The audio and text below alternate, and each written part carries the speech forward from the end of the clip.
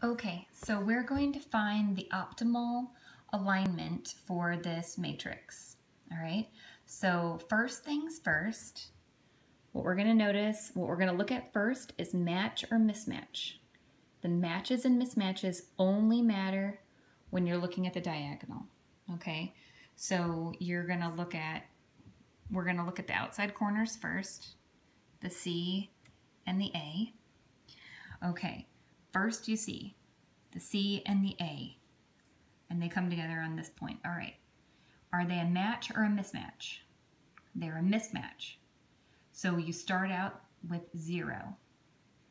Take your zero and you look to the upper diagonal. Zero plus one is one. Okay, so we'll start out the, just looking at the letters as they are. You have the number one.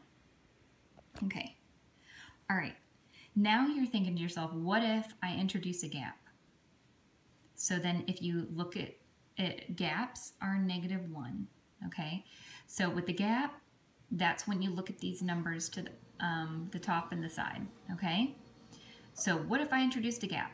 If I introduce a gap here, uh, it's negative 1 plus 0 makes negative 1.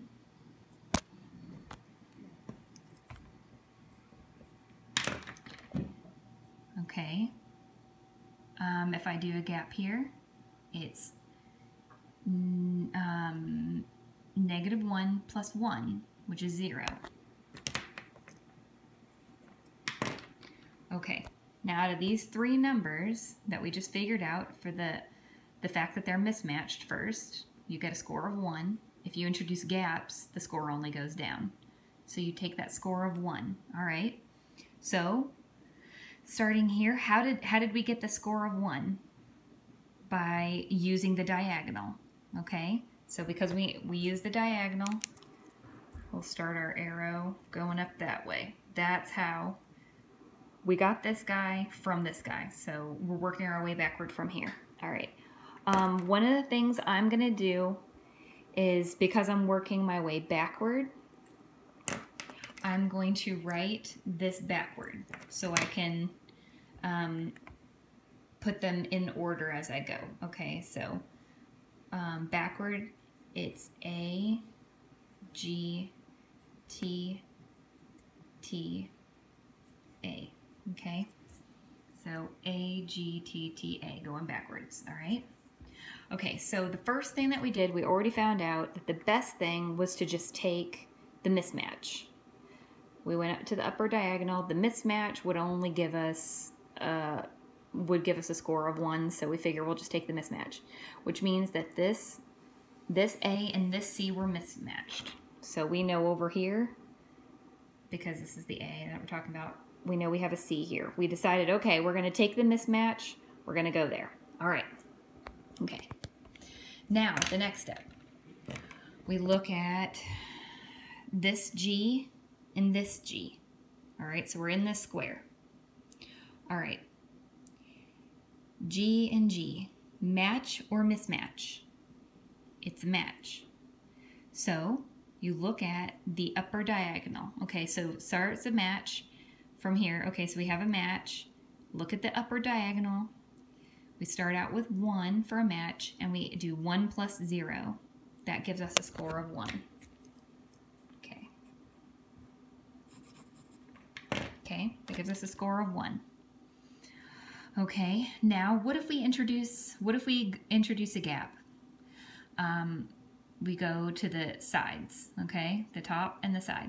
If I introduce a gap, I start out with um, negative 1, so I do.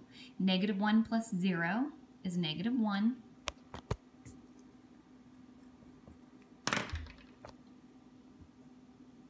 Negative 1 plus 1 is 0. So what gave us our best score? Our best, our best score is that positive 1. And what did we do to get the positive 1? We just went ahead and accepted this mismatch. The mismatch between, oh, sorry, the match. The match between G and G gave us the best score. So we're going to go up. We're choosing that diagonal. Our best score came when we got it from this number. Okay. So these two were matched. We're accepting the match. So under this G, we're accepting the match with G. Okay. All right, moving on to the next one. All right, so now we're looking at T and G, right? That's where they come together. All right, T and G. Okay, we've got, um, we have our zero. Now T and G first, match or mismatch? Mismatch. So you start out with zero. Look to the diagonal. Zero plus zero is zero. Okay. All right. Uh, okay. All right. Um, what if I introduce a gap? So, oh goodness, am I here? TNG. Oops, mismatch. Okay. Um, all right. So, but what if I introduce a gap? Okay, I start out with a score of negative one, and I look to the top and the side. Negative one plus negative one is negative two.